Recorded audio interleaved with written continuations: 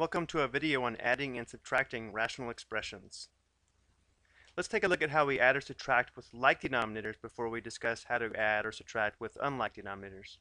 As we can see here, if we want to add or subtract fractions with like denominators, we simply add or subtract the numerators and then simplify if possible. Let's go ahead and try a couple of these first. 2 nines plus 1 9, we have a common denominator of 9, so we add our numerators. 2 plus 1 would equal 3. 3 ninths does simplify though. We can rewrite 9 as 3 times 3, so there's a common factor of 3 between the numerator and denominator. This fraction simplifies to 1 third. Now we do have to be a little more careful when we subtract rational expressions. Again, we see we have a common denominator of x minus 4, so we will now subtract our numerators. To make sure we subtract this entire numerator, it's important that we include it in a set of parentheses. We need to subtract the 2x and also to subtract the positive 5. So when we do this, we have 3x minus a positive 2x, that's x. And then we have a positive 1 minus a positive 5, that equals negative 4, so we'll write minus 4. Notice we have x minus 4 over x minus 4, so this actually simplifies to 1. To add or subtract rational expressions with unlike denominators, we must first rewrite each expression using the least common denominator. So we have to have a common denominator to add or subtract rational expressions.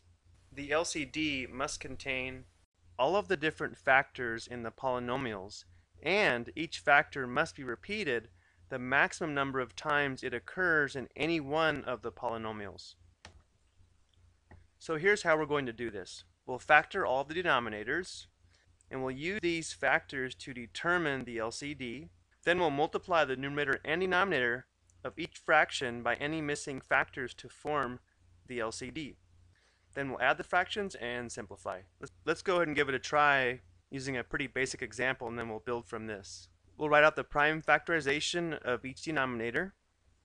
30 is 6 times 5, 6 is 2 times 3, 12 would be 4 times 3, and 4 is 2 times 2, so we have 2 times 2 times 3. Now what we're going to do is build the least common denominator by analyzing the prime factors of the denominator. Remember the LCD must consist of all of the different factors from the denominators and it also must be repeated the most number of times it occurs in either of the factorizations. So what we mean by that is if we look at the factor of 2 there's one factor of 2 here and two factors of 2 here. So the LCD must contain two factors of 2, so we'll multiply this fraction by 2 in the denominator and also 2 in the numerator.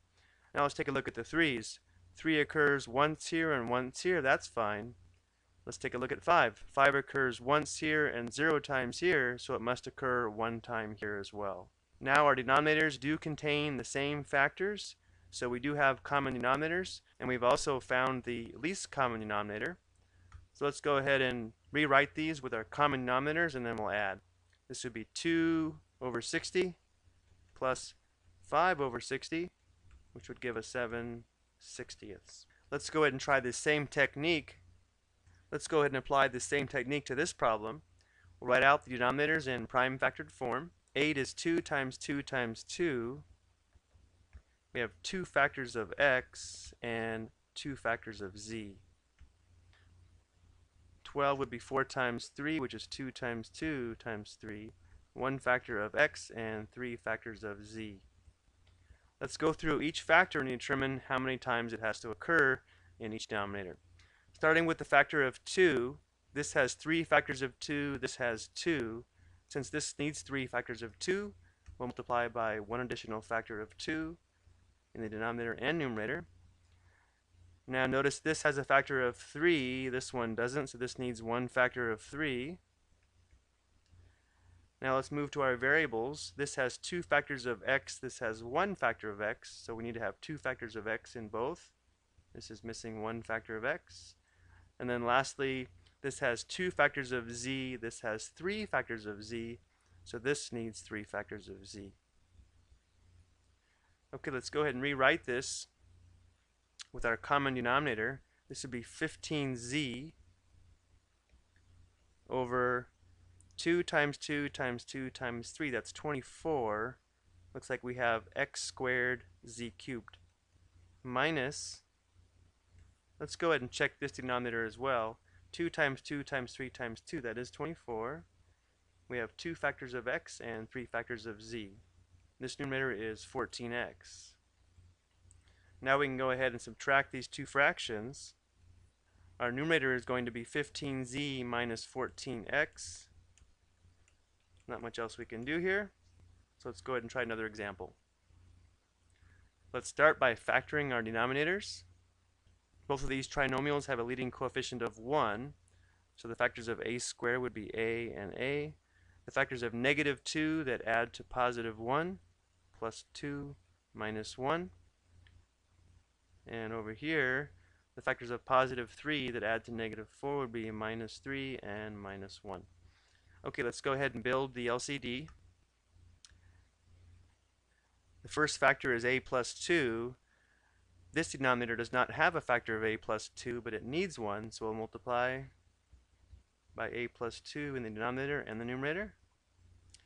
The next factor is a minus 1. They both have one factor of a minus 1. The last factor is a minus 3, which this denominator is missing, so we'll multiply this one by a minus 3 in the bottom, a minus 3 on top. Notice now we do have our common denominator. So we'll go ahead and rewrite this as a single fraction now with this common denominator. The order of these does not matter because they are being multiplied together. So what we're going to have left is 5 times a minus 3